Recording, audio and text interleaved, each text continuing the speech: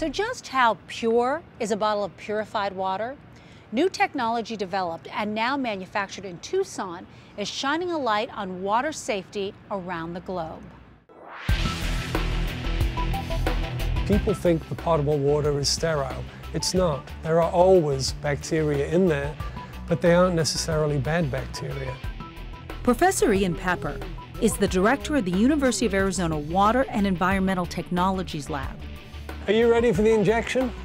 Today, he's deliberately injecting E. coli into his lab's water distribution system to test a machine invented in Tucson to detect microbial contaminants in water. So this is the instant bioscan, which is known as the uh, RMS technology or real-time monitoring system.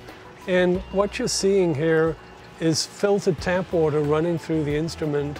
And you can see that we have a count of 183 cells per 30 mils in that filtered tap water. As we follow the injection of the E. coli cells into the distribution system, you can see that the number of counts that we now have is 7,661 per 30 mils, whereas the background count prior to the injection was less than 200. So the sensor, as you can see, is responding in real time. Real time is defined as anything that can detect a contaminant within two to three minutes. The sooner you know you have a problem, the sooner you can fix it.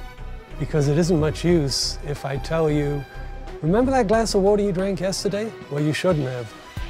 But the technology is not limited to drinking water. In the case of WIFI, it's a, an abbreviation for water for injection. So IV bags or water that would be used to actually make up drugs that would be directly injected into your body, that's of course extremely high purity water. Effectively 10,000 times more pure than drinking water. Instant bioscan machines are already being used in Italy, Hungary, Sweden, and Japan. And with more customers lining up, Instant Bioscan is speeding up its manufacturing process. We made 10 machines in the first lot, but we actually made them one at a time because that's what we were working out the kinks in our production functionality. They plan to ship 60 machines by the end of the year and to double that by the end of 2014. Instant Bioscan is the beginning of a rather big uh, company and it will probably uh, bring lots of jobs uh, into the Tucson area, uh, high-paying jobs. Nearly $25 billion is spent on testing water microbes every year.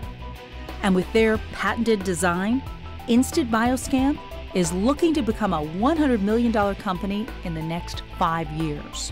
Well, this is a worldwide market, uh, big in the U.S., but also very big internationally the design and manufacturing of big technology. All based out of Tucson, Arizona.